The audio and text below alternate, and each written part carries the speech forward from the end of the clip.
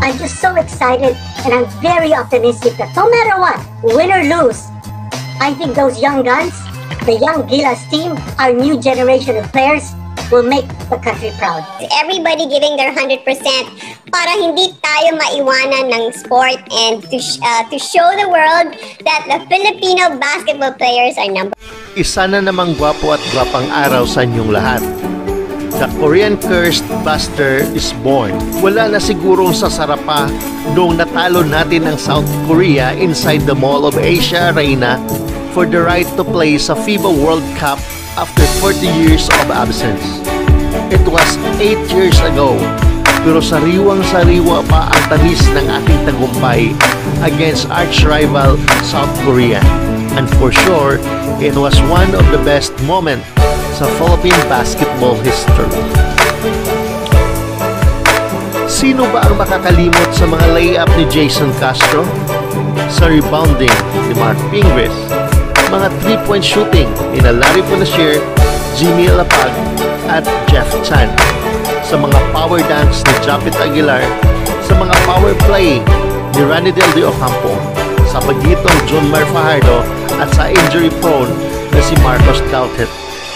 Lahat ng mga ito ay nagsilbing inspirasyon sa lahat ng mga Pilipino sa mundo. And the drama before, during, and after that historic win remains in every Filipino basketball fan. Pero pagkatapos nun, patuloy pa rin ang ating struggle against Korea.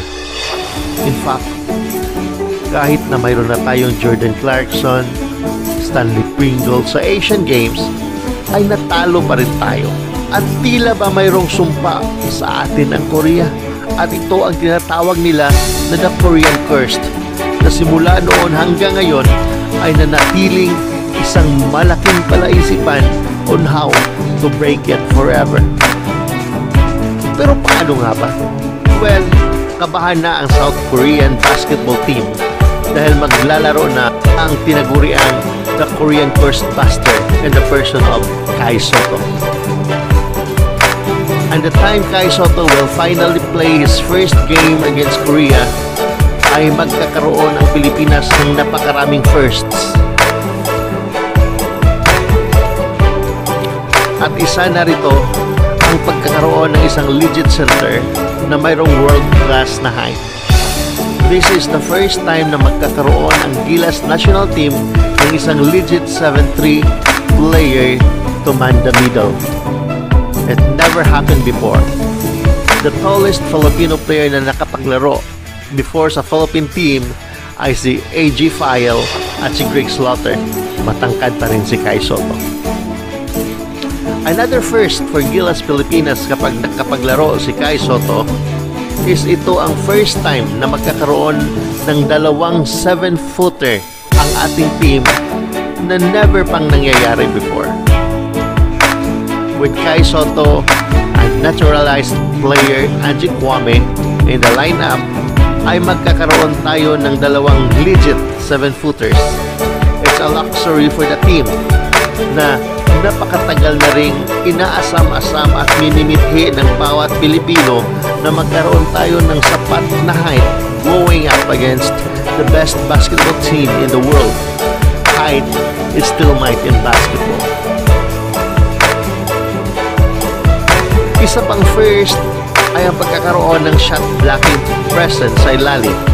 With Kai Soto, this is the first time na mag magkakaroon ang Pilipinas ng isang legit shot blocker as the last line of defense. At 7-3 ay for sure ito'y malaking challenge sa mga big man ng Korea how to score inside. Sa height pa lang ay ito'y napakalaking tulong na as an intimidating factor. Kahit pa hindi mablock ni Kai Soto lahat ng mga shots, his mere presence is more than enough to intimidate and strike fear sa kalaban. And obviously, dahil napakatangkad ni Kai Soto, he is bound to get the rebound effortlessly, which is ito naman talaga ang isa sa pinakamalaking problema natin sa mga international competitions na sinasalihan natin. But with Kai Soto, ang problemang ito ay solved na yan. dahil hindi lang matangkad si Kai Soto, marunong pa itong sumungkit ng mga rebounds dahil sa kanyang ability to box out the right way. In fact, his averages sa TSF, the Skills Factory pa siya naglalaro, ay ang patunay na isang great rebounding center si Kai Soto.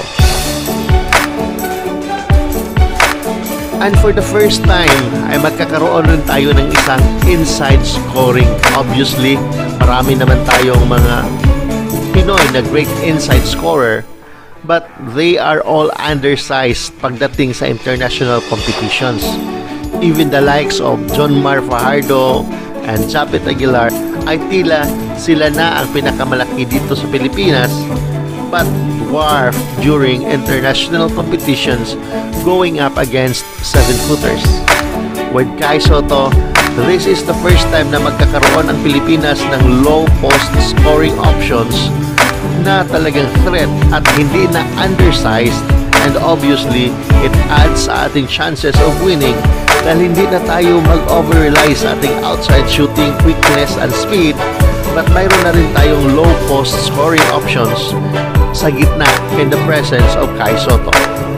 Kahit noong naglalaro pa si Andy Blatch, ay hindi nito nabibigay ang needed scoring inside option sa ating Gilas Pilipinas dahil alam naman natin na ang atake ni Andy Blatch ay kalimitang nanggagaling sa labas. And the biggest contribution ni Kai Soto kapag naglalaro na ito for the first time ay magkakaroon tayo ng legit scorer hindi lang sa low post kundi sa labas rin.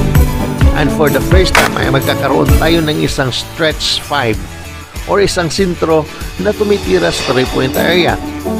Ito'y napakabihira sa Gilas team.